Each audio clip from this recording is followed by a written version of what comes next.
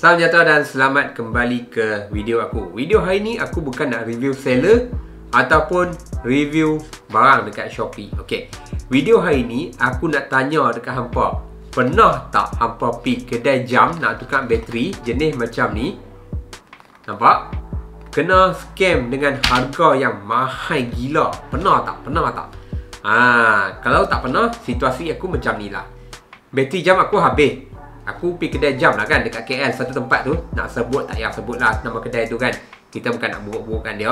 Okay aku masuk lah kedai tu. Aku tanya Bang uh, Nak tukar bateri jam? Dia kata ah, Okay boleh-boleh tak ada masalah. Lepas tu dia minta lah jam aku kan. Dia kata Bang Abang punya jam ni Bateri dia RM30 Aku tu macam Oh RM30 lah. Ah, Boleh tak tengok bateri tu bang? Dia bagi aku tengok lah Bateri jenis macam ni juga. Sama juga. Dia kata kat aku Bang Kita jual ni bateri yang memang original punya bang. Ah, tapi harga dia sebiji RM30.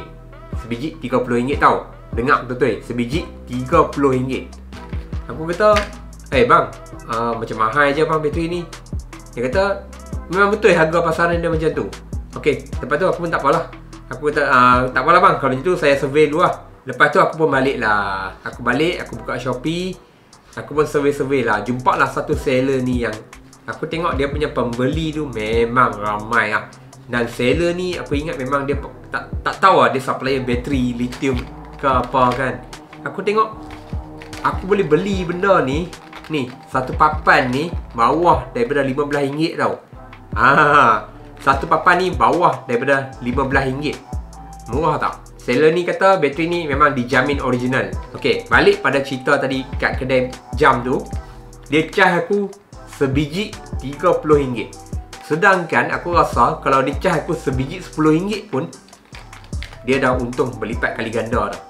Apa abang rasa? Kalau abang kenal situasi macam aku?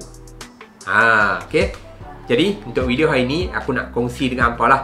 Satu seller ni yang aku cakap ni Aku tunjuk dekat skrin apa ni. Timon nama dia ha, Dia memang khusus. Aku ingat dia jual bateri-bateri jenis lithium Macam ni je lah. Ha, Malah ni Yang ni ada brand ni Aku beli Dengan harga yang Masuk akal lah dia punya harga kan. Berbanding dengan Sebiji RM30 ha, Kalau apa nak beli Hampa tengok dekat link Dekat description aku dah sediakan Okay Itu saja daripada aku. Pada seller yang jual bateri mahal tu Tolonglah. Ini sebiji RM30 kot agak-agak ah.